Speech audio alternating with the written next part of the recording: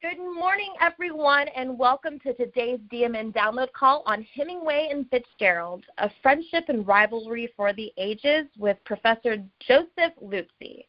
I am Kimmy, and I'm the rewards event coordinator here at the Dallas Morning News. And on behalf of all of us, I wanted to say thank you so much for joining us today. We are very happy to have you. Please remember that we will have a live Q&A towards the end of the call, and we highly encourage your questions. Joseph, you're welcome to take it from here. Thank you so much, Kimmy, and thank you to everyone for tuning in today. I'm I'm so excited about my talk and to kind of um, you know uh, as we virtually all get to know each other. This is uh, I've spoken um, for for the for the uh, paper in the past when we were in person. This is my first um, we'll call it virtual event, um, and I'm I'm so appreciative of you all for uh, tuning in and listening. And I guess I'll, I'll just start by saying a few words about myself. I'm a professor of comparative literature at Bard College. I received my PhD from Yale, and before coming to Bard, I taught at the University of Pennsylvania. I've written five books. Um, three of them are academic, so uh, uh, th- those are a little more specialized. But I also wrote two books for general readers. One, My Two Italies, which is uh, was a New York Times Editor's Choice selection, and that was like the story of my family's immigration from Italy and then me going back later in life to study Italian and the kind of the collision, the happy collision of those two worlds. And I also wrote a book called In a Dark Wood, what Dante taught me about grief healing and the mysteries of love, and that's a sort of um, a very personal book about how Dante's Divine Comedy, this extraordinary poem that I've spent a lot of my career uh, teaching and, and, and writing about helped me through a particularly difficult time. Uh, in my own personal life. So um, I invite you. You can learn, you know, more about me and my work at um, my website, which is um, www.josephluzzi.com. And I will tell you about one special initiative of mine that is very much connected to my conversation today about Fitzgerald and Hemingway. Um, at the begin, towards the beginning, um, I had wanted to do this for a while, but soon after the pandemic, I created something called the Virtual Book Club, which is an international community of readers that's dedicated to exploring uh, some of the best books ever written, from beloved classics to recent bestsellers.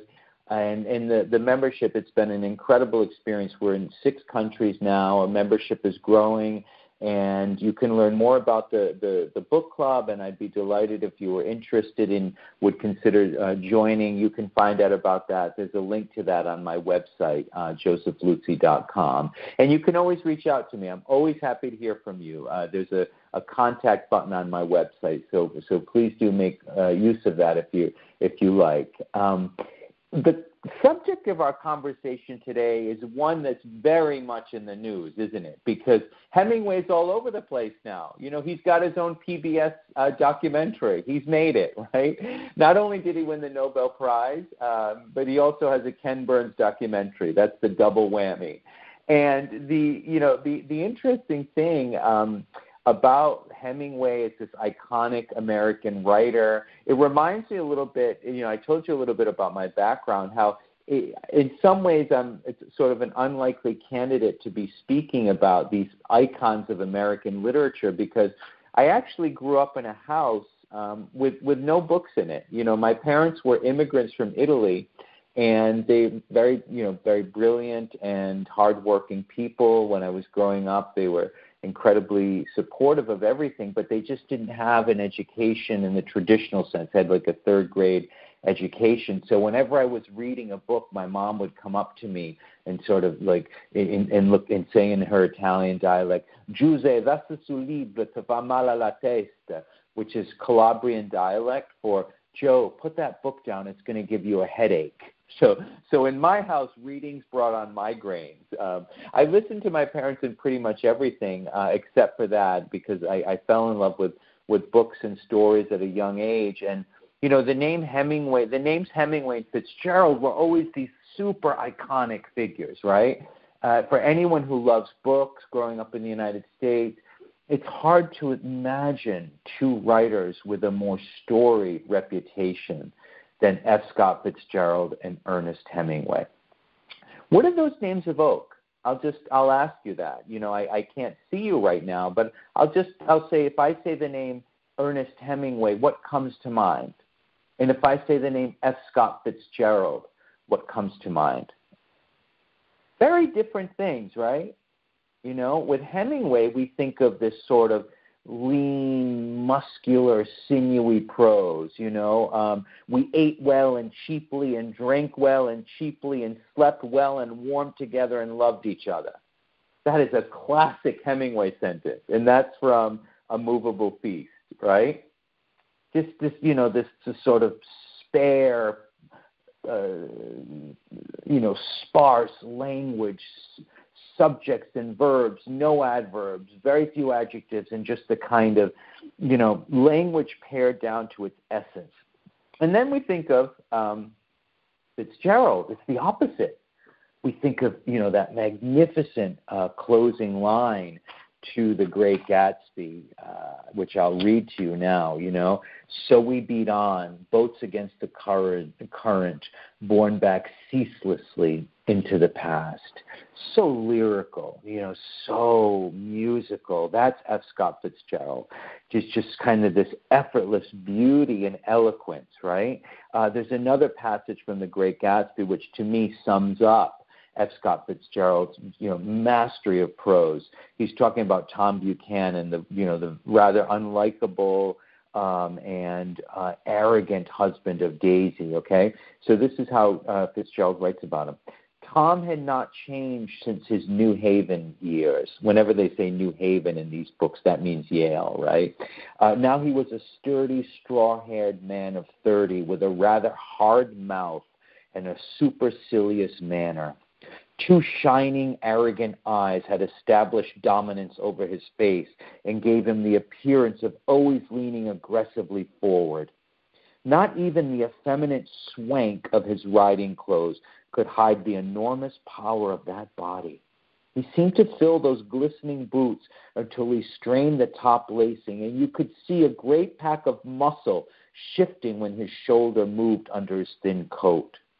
It was a body capable of enormous leverage, a cruel body.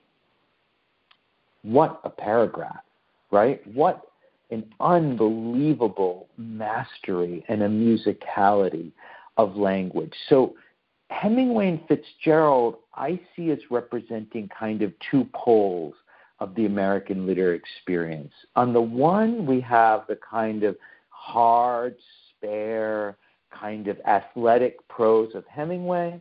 On the other, the more lyrical, the more musical, the more kind of, uh, you know, my students often use the word flowery, right? I, I don't think that's quite the right word for um, Fitzgerald because there's nothing extraneous in what he's writing, but definitely a little more elaborate, a little more highly wrought, right? And the irony, though, of this situation is that for all their differences, F. Scott Fitzgerald and Ernest Hemingway were actually good friends. We're actually two peas in a pod. We're actually two writers who helped create one another. We can call them friends, we can call them rivals, we can call them frenemies.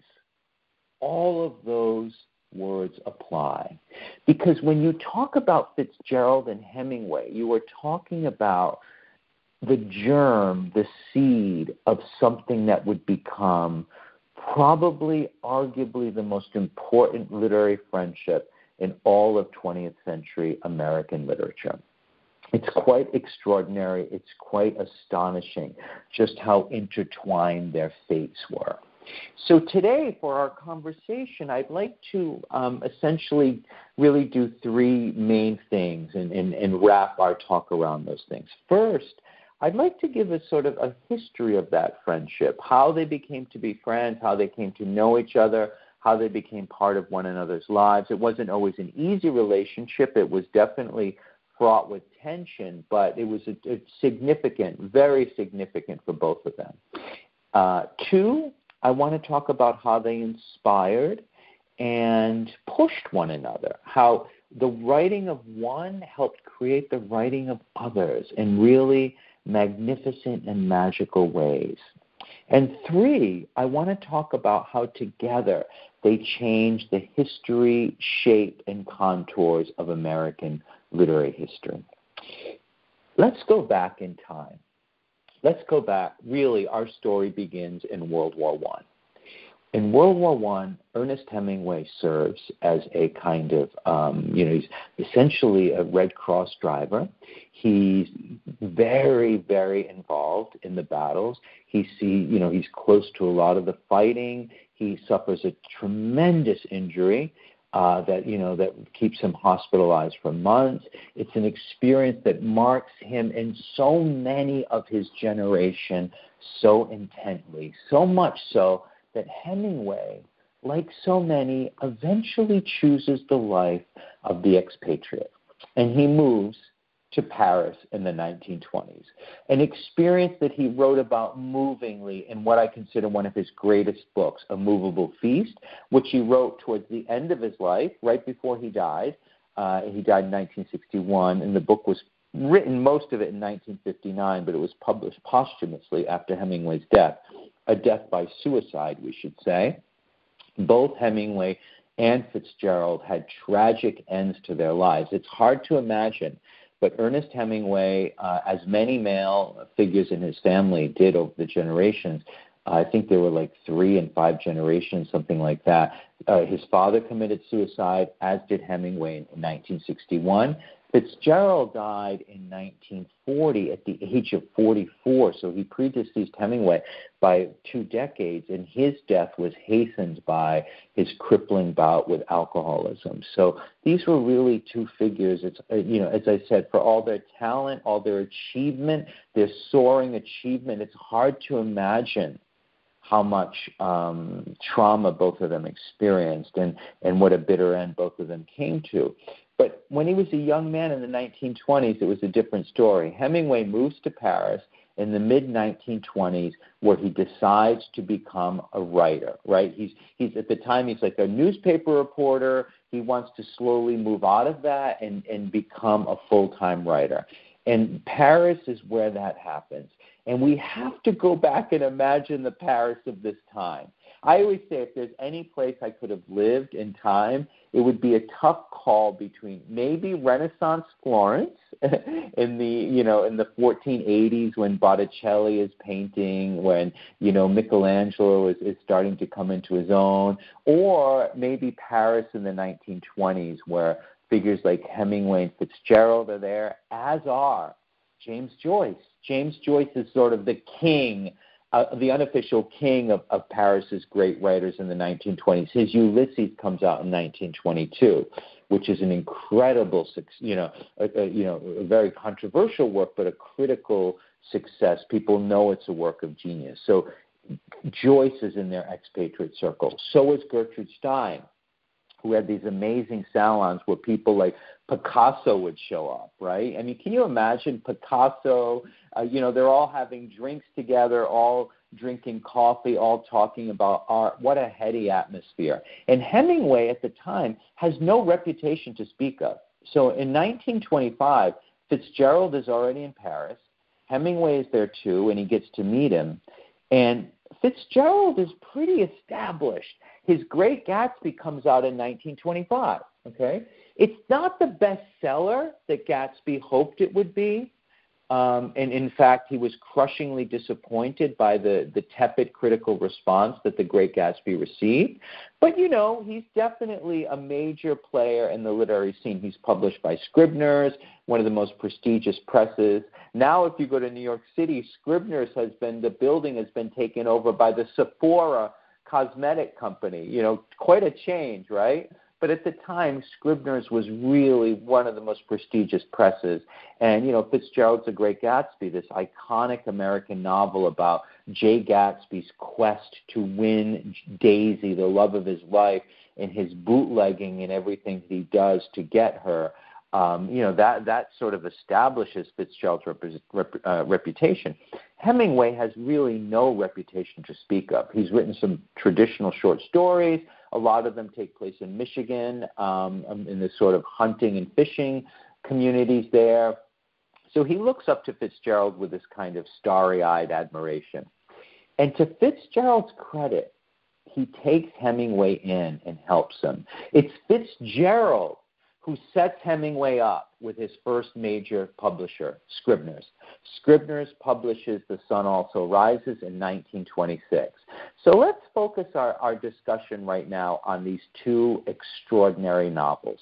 The Great Gatsby comes out in 1925, and The Sun Also Rises comes out in 1926.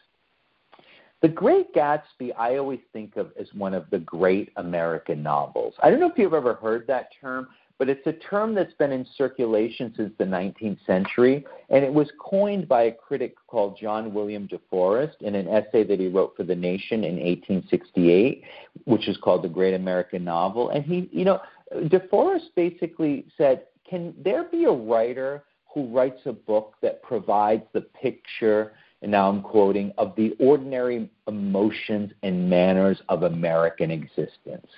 Now think about that.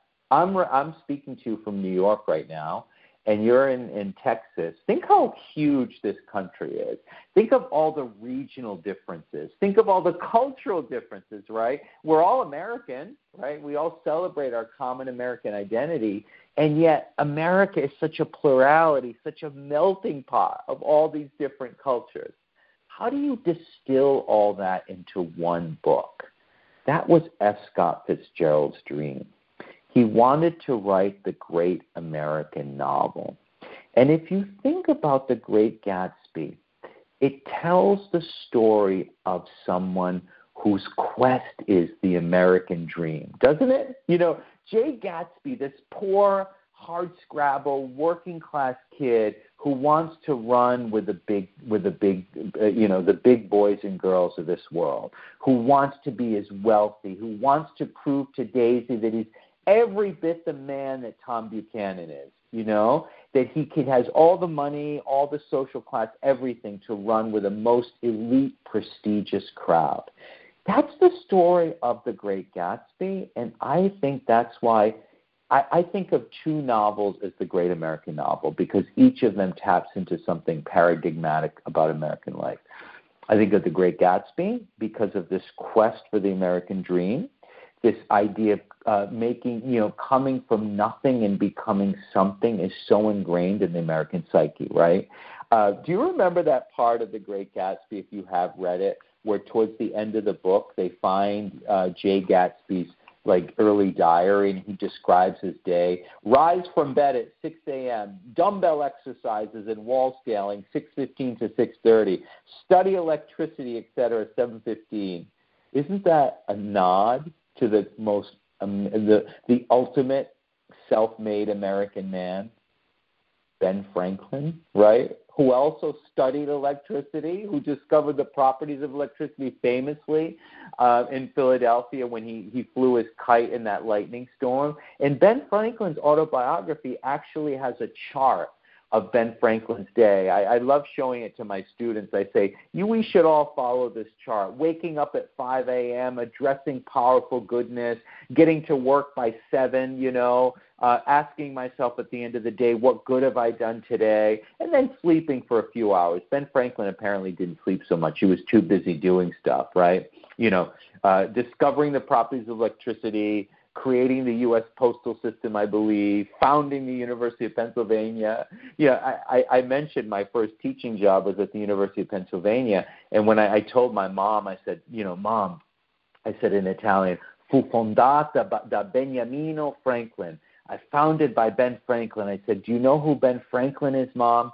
And she said to me in Italian, Figlio mio, dassimi ire, non so nemmeno che cosa ho fatto per colazione stamattina which translates into basically, My son, please leave me alone. I don't even know what I had for breakfast this morning, let alone who Ben Franklin is, right? that, that's how impressed my mom was with me teaching at Ben Franklin's University. Uh, but, you know, Jay Gatsby is this Ben Franklin like figure who comes from nothing. And that is the story of the great Gatsby, right? And it's a tragic story, right? I don't want to give it away, but let's just say it doesn't end well for Jay Gatsby. Um, and spoiler alert, you know, uh, no one basically comes to his funeral, um, and it's really a tragic story. The real tragedy, I think, though, is um, the love affair between him and Daisy, right? What woman could live up to his expectations, right? He had built this figure of absolute perfection, his inspiration, his muse, and he did everything for Daisy. And then they even consummate their love. They have an affair in the book, and of course, she disappoints him because no one could live up to that expectation. And there's a remarkable quote from in the middle of the book where um, the, the narrator, Nick Carraway, talks about that. And I'll read that quote to you. There must have been some moments, even that afternoon, when Daisy tumbled short of Gatsby's dreams. Not through her own fault, but because of the colossal vitality of his illusion. I just love that phrase, the colossal vitality of his illusion. You know, the amazing energy that it took to create this life of pursuing Daisy, this, these riches. And now I'll, I'll continue to quote. It had gone beyond her, beyond everything. Gatsby had thrown himself into his pursuit of Daisy with such a creative passion, adding to it all the time, decking it out with every bright feather that drifted his way. No amount of fire or freshness can challenge a man what a man will store up in his ghostly heart. What a line. No amount of fire or freshness can challenge what a man will store up in his ghostly heart. I think that is such a brilliant psychological insight by Fitzgerald. And I think that's one of the things that drew Hemingway to Fitzgerald this combination of the psychological insights, the facility with language, and the kind of brilliant anatomy of the, the American experience, right? This sort of this this ability to dissect and bisect the American dream. When Hemingway read The Great Gatsby in Paris, he was blown away. he he had met Gatsby by then, and they had spent this sort of crazy day together where uh, you know they went to pick up a car um, that Gatsby had left in Lyon, and they took. The, uh, uh, Fitzgerald doesn't show up to the train when he's supposed to. They get to Lyon. They meet there later, and um, Fitzgerald falls ill. They drink themselves silly. I mean, I remember taking notes to the book and writing, how much wine are they going to drink before noon?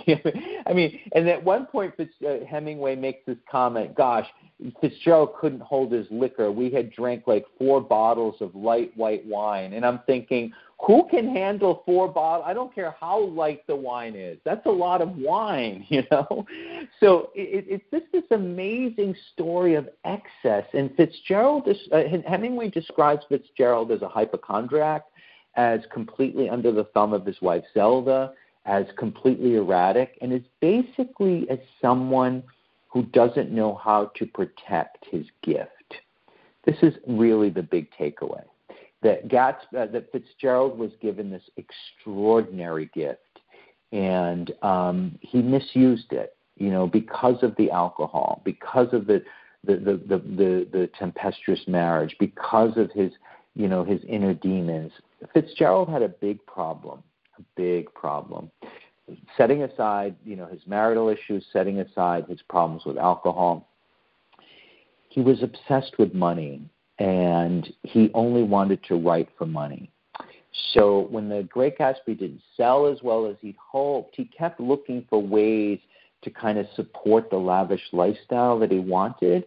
And so he eventually actually moves to Hollywood and um, dies basically a broken man there, you know, um, with his alcoholism getting the better of him et cetera, et cetera, and really just not living up to his potential. He wrote some other fine novels, Tender is the Night, This Side of Paradise, but nothing really ever reached the heights of The Great Gatsby. He was born, I believe, in 1896. The Great Gatsby is published in 1925, so he's barely 30 years old when he writes this book. But, you know, Gatsby was a lot like um, I'm sorry, Fitzgerald was a lot like Gatsby. I always confuse the two because they're so similar. You know, uh, Fitzgerald was of a well-to-do family, a Midwestern family, but you know, he went to Princeton and saw real money, you know, real elite money. Wanted to fit in, never quite does. He never finishes Princeton. He's a terrible student there. There's a pattern that he just can't finish a lot of what he starts. And Hemingway saw that, you know. At the end of his day with um with Fitzgerald, he he writes, if this was the literary life, I wanted nothing to do with it. You know, he said, I wanted to get back to Paris, to my desk, and get back to work. And the amazing thing about Hemingway that people don't realize, because the myth of Hemingway is so large, you know, all the bluster of Hemingway as the boxer, the fighter, the womanizer, the fisherman, detracts us from something really important. He was an incredibly innovative writer and formalist. And one of the things he did was borrow excessively from Fitzgerald. In fact, when he read The Great Gatsby, Hemingway said, You know, whatever his faults, we need to help Scott Fitzgerald because this man has a talent the likes of which very few people in the world will ever have access to. Those aren't his exact words, but that's the gist of his expression that we need to, to help and nurture this extraordinary God given ability that F. Scott Fitzgerald has that produced so fine a novel as The Great Gatsby. So, what does Hemingway do? Hemingway was a very, very competitive person. He wanted to be top dog, he wanted to be alpha dog among the writers. So, he starts to borrow from the people surrounding him. He starts to borrow not just from Fitzgerald, but he also starts to borrow from Gertrude Stein, who's this.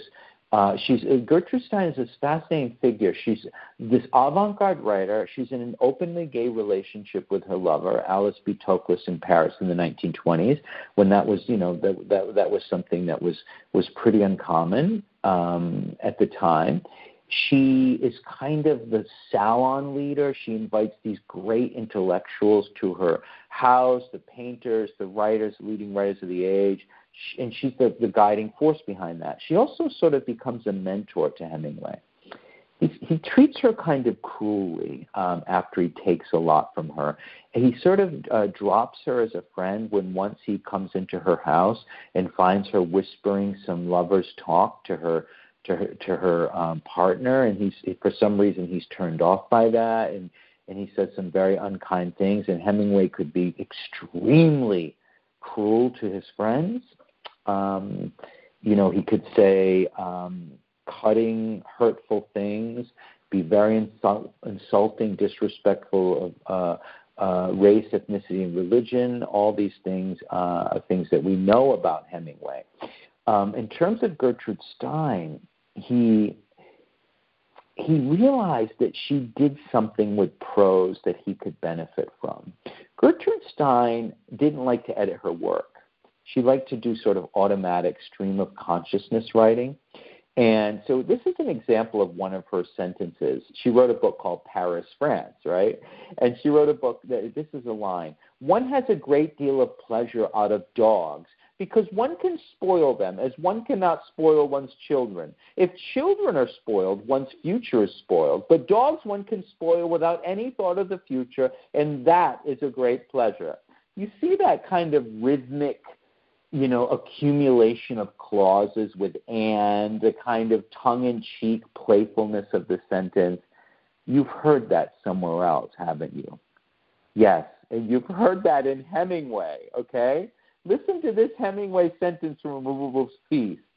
We ate well and cheaply, and drank well and cheaply, and slept well, and warmed together, and loved each other. That kind of accumulation of clauses with and is so signature Hemingway. And he's really getting a lot of that from Gertrude Stein. Oh, and the Bible because that's how the Bible, much of the Bible is written. I don't know if you ever read Genesis, but I'll just read you a passage. Then God said, Let there be light, and there was light. God saw that the light was good, and God separated the light from the darkness. You see that and, and, and, and. Very, very biblical, very Gertrude Stein, and it becomes very Hemingway. Uh, so that's one of the things he's picking up in Paris in the 1920s. Because when he got to Paris beforehand, he was a pretty traditional short story writer. I mentioned these nature stories. You had none of this sort of avant garde lilt that would come to define his writing. Who else is he learning from? Well, he's learning from F. Scott Fitzgerald. He's taking some of that lyricism and musicality from Fitzgerald and putting it into his own writing.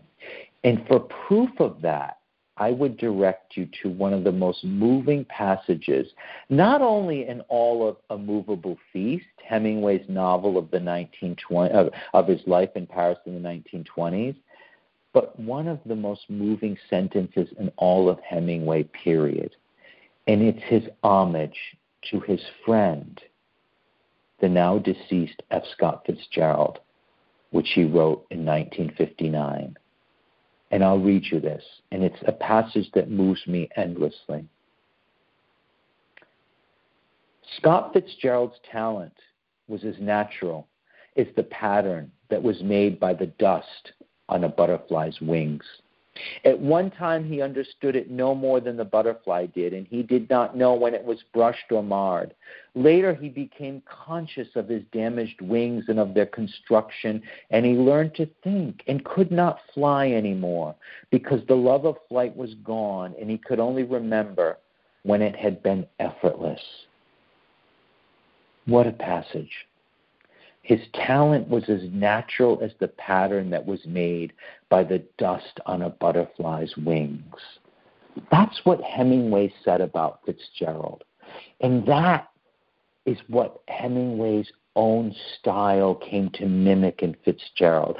To me, that's a Fitzgerald esque sentence, right? That's so different than your typical lean, mean Hemingway line about eating well and, and, and sleeping well and everything being fine, you know? That's Fitzgerald. That's Hemingway channeling Fitzgerald and putting Fitzgerald into his own prose. And that's how Fitzgerald helped create Hemingway.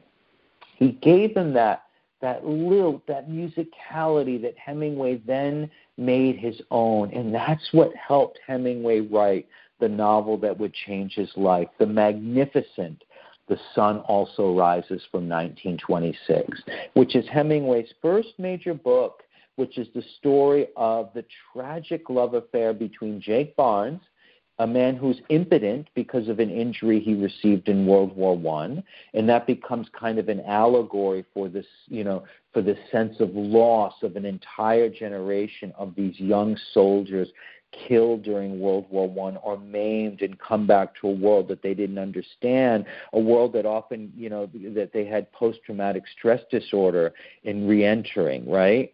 And his Jake's love for Lady Brett, you know, the beautiful, promiscuous um, aristocrat, a British aristocrat that um, is, is in love with Jake, but they can't try, consummate their love, and they go on this sort of, um, you know, this unbelievably hedonistic um, trip to Pamplona for the running of the bulls, where Robert Cohn, um, Jake Barnes' friend, uh, falls in love with Brett, who ends up having an affair with a matador uh, Romero, et cetera, et cetera.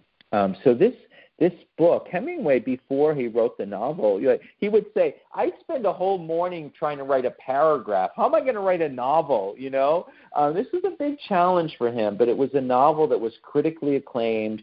And if you've been watching the brilliant PBS documentary, you'll see it's the novel that really sets Hemingway's career in motion. It's when Hemingway, the man, starts to become Hemingway the myth. So his career takes off after that with The Sun Also Rises. And Hemingway goes on to write a lot of great novels. Here's the di- difference between Hemingway and Fitzgerald. Fitzgerald writes this one transcendently great novel, right? The Great Gatsby. Hemingway doesn't have any one single entrant in the category of great American novel, but he's got multiple really powerful novels, right? The Sun Also Rises, For Whom the Bell Tolls, right? Um, a Farewell to Arms. Um, one of his most famous books, it's not my particular favorite, but one that many love is The Old Man and the Sea from the 1950s, late Hemingway. Uh, he goes on to win the Nobel Prize and um, you know becomes a sort of living legend. In his last work, A Movable Feast, he writes towards the end of his life and publishes afterwards. So Hemingway sort of, and this really sums up the difference between them. Hemingway wrote that one, uh, Fitzgerald wrote that one great book in this fleeting gesture of greatness.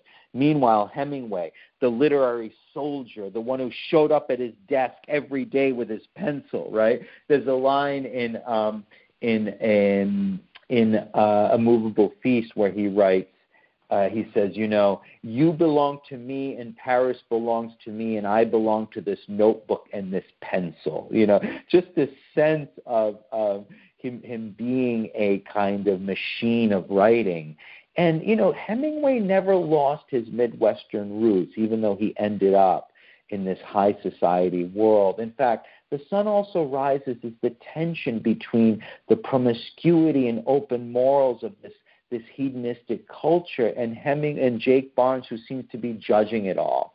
And to get a sense of, you know, at one point um, in The Sun Also Rises, we, we read um, someone says to Jake, it is, I believe, um, I'm not sure if it's Jake, but it could speak to all the whole group. It says, You're an expatriate. You've lost touch with the soil. You get precious. Fake European standards have ruined you. You drink yourself to death. You become obsessed with sex. You spend all your time talking, not working. You're an expatriate. You hang around in cafes. As if that's the worst thing in the world someone can do, hanging around in cafes, right? Wouldn't we all love to do that now in this time of lockdown, be able to go to a cafe? Um, it reminds me of this extraordinary letter that Hemingway's mom, who was quite an accomplished opera singer in her own rights, uh, Grace Hall Hemingway, wrote to her son, Ernest, when uh, The Sun Also Rises was published in 1926. It's this amazing letter. The critics, dear, dear Ernest, the critics seem to be full of praise for your style and ability to draw word pictures, but the decent ones always regret that you should use such great gifts in perpetuating the lives and habits of so degraded a strata of humanity. It is a doubtful honor to produce one of the filthiest books of the year. Ouch. Geez, Mom, you know? She goes on, What's the matter? Have you ceased to be interested in nobility, honor, and fineness in life? Such surely you have other words in your vocabulary than damn. And then she mentions another word that, that I, I won't mention because it's, it's, it's an obscenity, right? And then she, she ends her, her, her um, letter by saying, Every page fills me with a sick loathing. Wow, imagine getting a letter like that from your mom after you publish one of the most critically acclaimed books, you know, in the in, in, in the early 20th century, of ones that sort of announcing the herald of a new age of literature. But his his mom did not like it, and I think that speaks to Hemingway's divided soul. This this sense of a figure who, on the one hand, goes to Europe, you know, imbibes all the great traditions in the European avant-garde uh, and the American avant-garde from from his friends like F. Scott Fitzgerald, you know, Gertrude Stein, and so it's, it's ceaselessly experimental, and yet it's also also always drawn back to a sense of the American soil, always drawn back to a sense of his roots in Midwestern values. And that's what he shared with Fitzgerald, believe it or not. This one of my most one of my most favorite passages in the in the Great Gatsby is towards the very end when um, Nick Carraway, the narrator, is sort of looking back. This is after Jay Gatsby's death, after this whole brouhaha about the scandal associated with Gatsby's you know, criminal activities uh, with prohibition and, and you know, selling liquor and the, his real fall from grace. This is this is what um, Nick Carraway says towards the end of the book. One of my most vivid memories is of coming back west from prep school and later from college at Christmas time. Right When we pulled out into the winter night from the Chicago train station and the real snow, our snow, began to stretch out beside us and twinkle along the windows, and the dim lights of small Wisconsin stations moved by, a sharp wild brace came into the air. That's my Middle West. Not the wheat or the prairies or the lost sweet towns, but the thrilling returning trains of my youth and the street lamps and sleigh bells in the frosty dark and the shadows of holly wreaths thrown by lighted windows on the snow. I am part of that, a little solemn with the feel of these long winters, a little complacent, etc., etc. And I see now that this story of the great Gatsby has been a story of the West after all. Tom and Gatsby, Daisy and Jordan and I, we're all Westerners, and perhaps we possessed some deficiency in common which made us subtly unadaptable to Eastern life. I think he could add Ernest Hemingway's name to that list.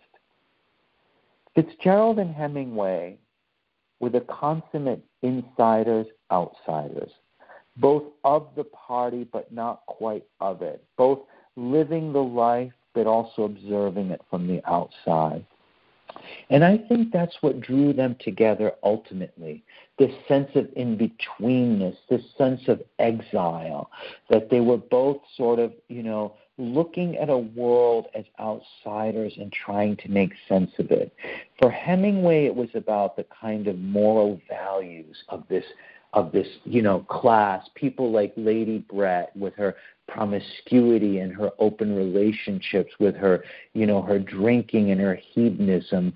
For Fitzgerald, it was about the the, the allure of money, old money, right? Like Jay Gatsby has a mansion in West Egg, but he wants to be in East Egg, where all the old money is and he'll never belong. And he looks across the the sound and he sees the green light from Daisy's dock, and it's like this herald beckoning him to come to her, and he'll never truly arrive.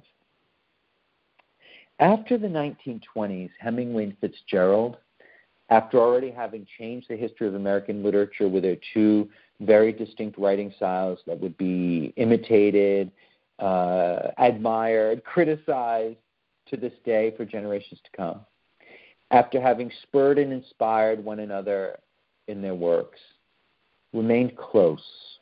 It was a fraught relationship um, because Hemingway never stopped thinking that Fitzgerald had betrayed his talent.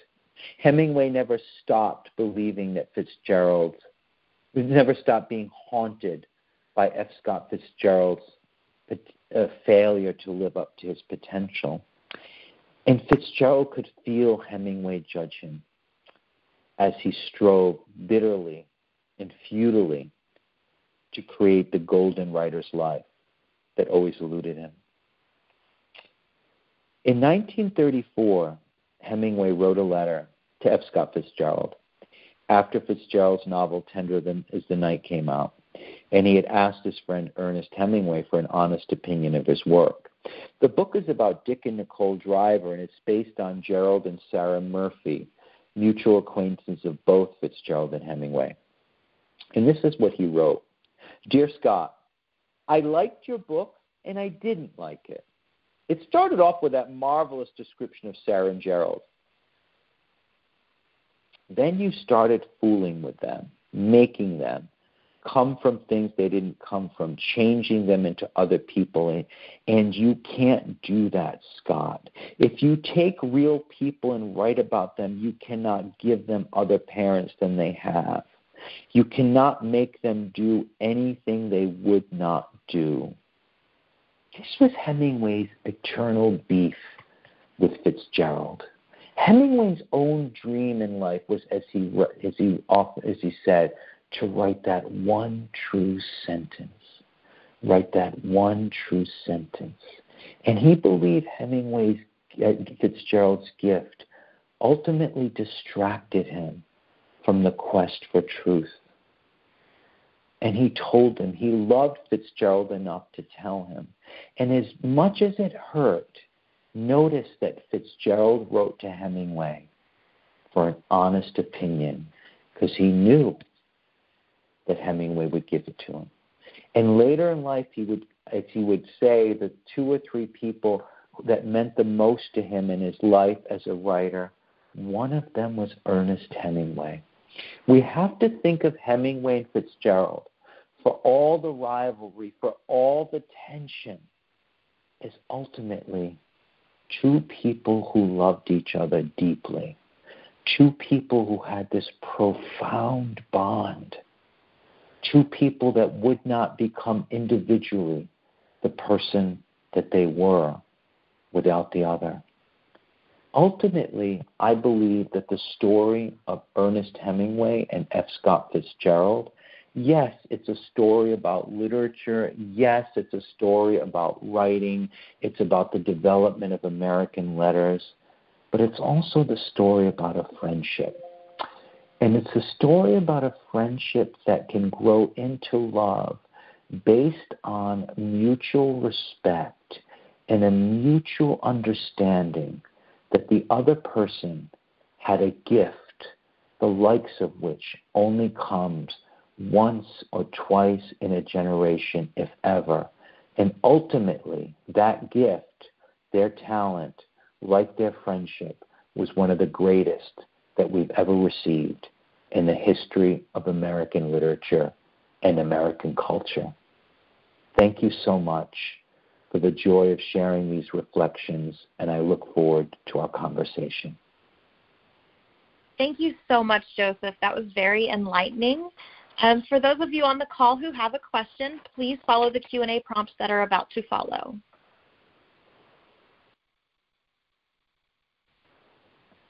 Again, Joseph, I wanted to say thank you so much for joining for this call today with our readers. We really appreciate it. And again, I am extremely enlightened, and um, it's always wonderful to hear about Hemingway and Fitzgerald. I remember reading The Great Gatsby in high school, and I'm sure a lot of people on the call have read The Great Gatsby. I hope so. Um, no spoiler alert. Um, but for those of you with, for those of you with a question on the call, please press star six. We would love to hear your conversation. And we did not have any questions asked in, in advance, so let's see if we get any questions. How is the weather up in uh, New York? It's an absolutely glorious day today. We've had, um, uh, it, you know, as that Beatles song goes, a long, cold, lonely winter up here with, with the lockdown and the ice. And um, the last week or so is sort of, um, you know, I know you always have great weather, Kimmy, in Texas. Uh, my my brother went to um, SMU, so I've and I've traveled to Dallas a few times for talks. I love the city. It's always a joy to go there, and so Dallas has always been a big part of our family's life. Um, and you know, we we here just finally, when you get these nice spring days, it sort of makes up for all the ice and snow that kept you inside uh, in, in those winter months. So th- things are finally uh, looking up here. That's amazing. It looks like we have a live question. First question Great. being, believe it's Rachel. Hi, hi, Rachel. Oh, hi. Hello, thank you for such a wonderful, wonderful talk. I'm, I'm interested in your perspective on the fact that um, legacies are shaped so much by the lens of what we're feeling in, you know, in our current um, situations, our times, you know, our current generations. When you look back with your perspective on, you know, looking through today's lens, how do you feel like the legacies of Fitzgerald and Hemingway hold up to today's times, and, and how would you maybe compare and contrast the two?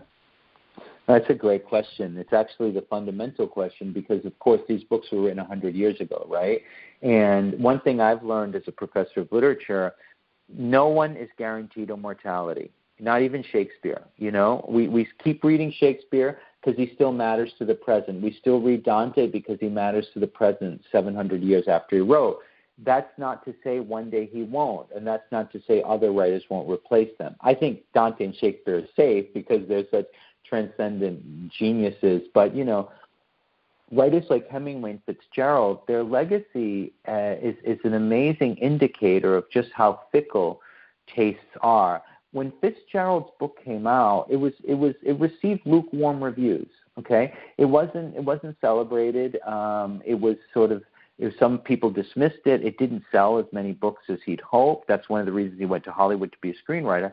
And then, lo and behold, you know, um, maybe it was the, depre- the, the depression, maybe it was the war. We don't know what, but somehow The Great Gatsby slowly entered the American canon and became part of school curricula all over the United States. It's now one of the best selling books in the country, right? A lot of us read it in college.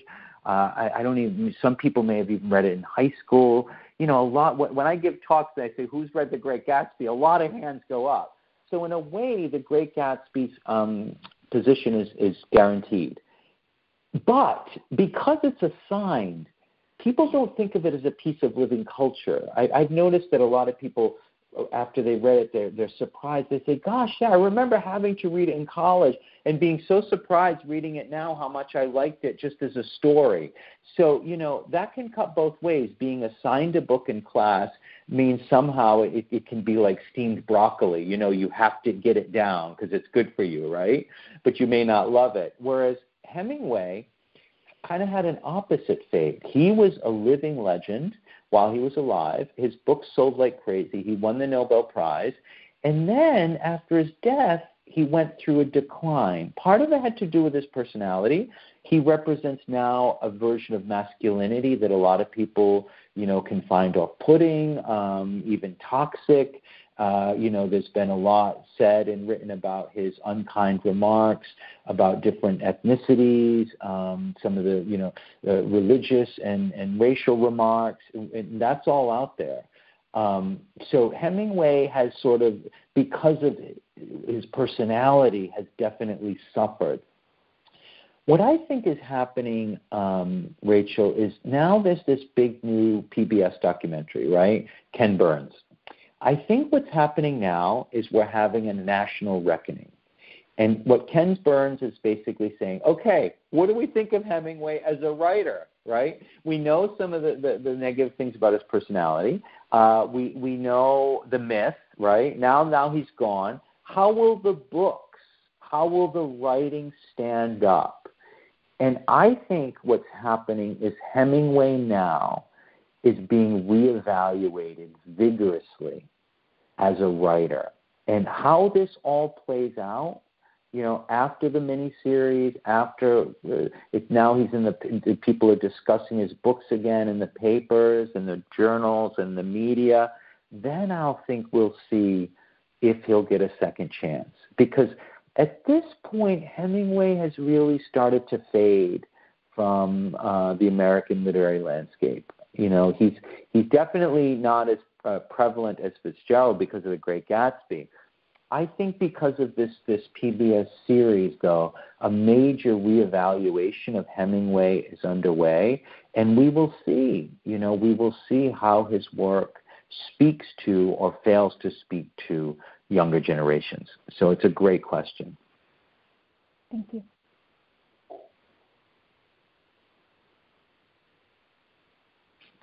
Thank you so much for your question. Sorry, I didn't unmute myself. Um, okay, we have another question in the queue. Um, it should be, I don't know if it's Dennis or Matt, but whoever you are, you are free to talk. Hi, um, I have a question that is more tangential to the main discussion. really have enjoyed it. I've always enjoyed uh, Fitzgerald's Wild Palms, especially The Old Man. And I wondered if the old man was the source or a major source for Cool Hand Luke. I know it, there was an actual movie called The Old Man based on the novel, but I wondered about the connection with the movie Cool Hand Luke simply because there seems to be a great deal of similarity.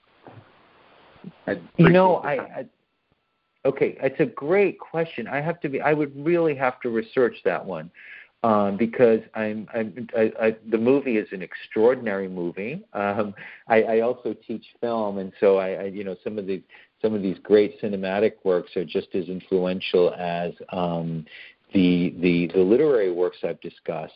Um, but in terms of an influence from um, from Fitzgerald on the movie, I don't know. Uh, that's an interesting, interesting um, question. I guess what I can tell you um, is I can research it, and my, I hope to speak with this group again, and maybe by then um, I'll have an answer for you because this is this is one that's going to sort of um, you know uh, test my skills as a researcher. So I can't answer that offhand, but I definitely will look it up. Uh, so thank you very much for that.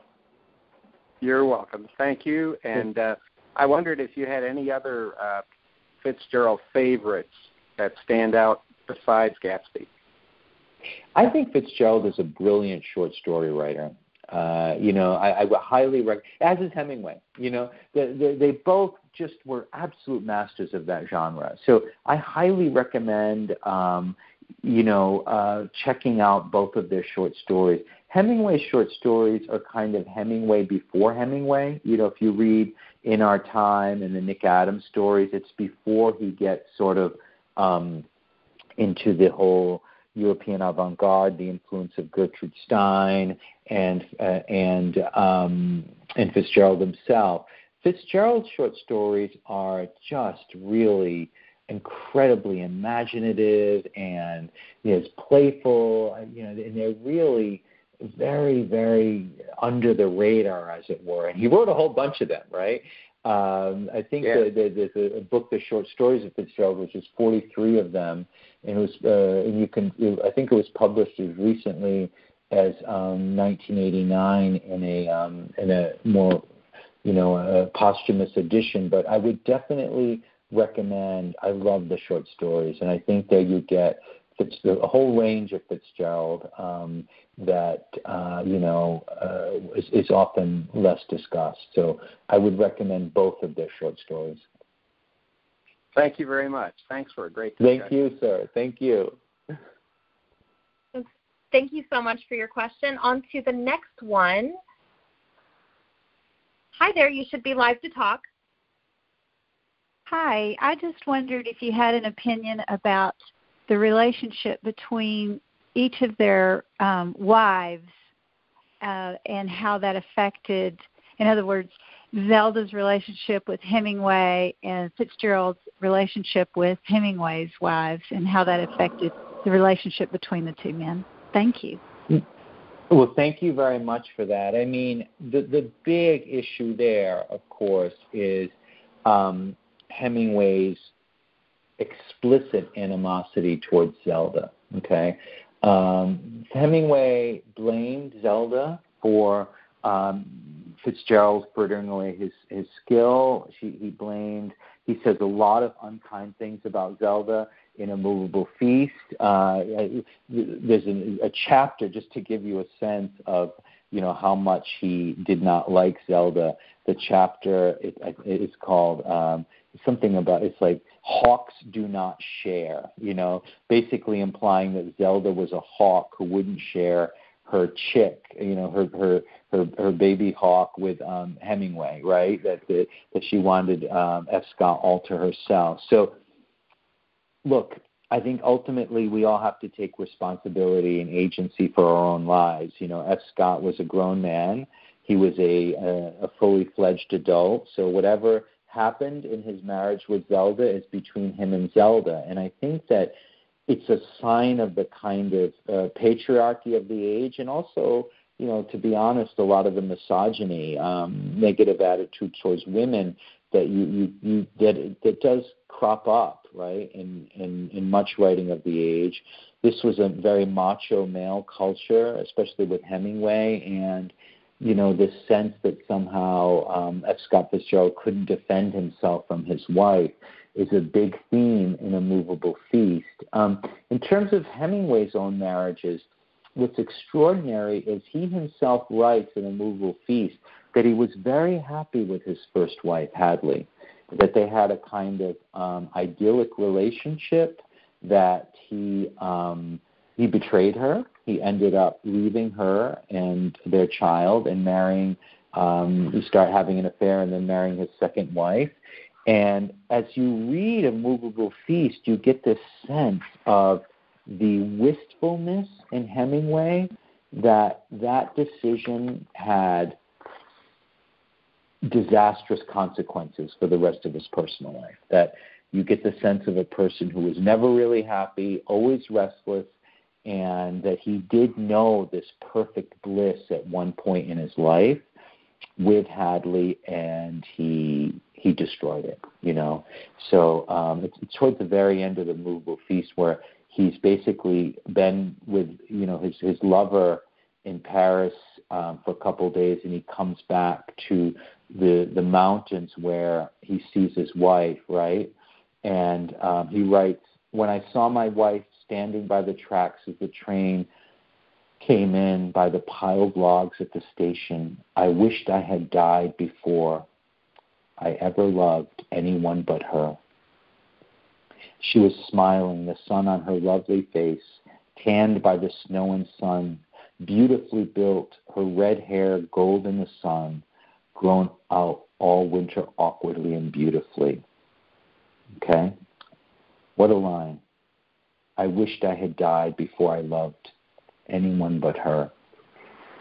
The Moveable Feast is not just about Hemingway becoming a writer, it's about the loss of this love, this defining love that was really, in retrospect, one of the few moments of peace in his otherwise extremely complicated and tormented life.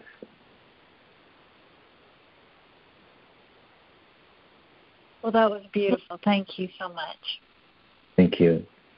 Thank you so much, Joseph. Um, we have one final question. I know we've gone over our time, but uh, we have one last question in the queue. Do you have time to answer it?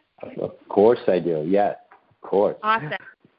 Last question of the day, everyone, and it is with Beth Ann. Hi, Kimmy. How are you?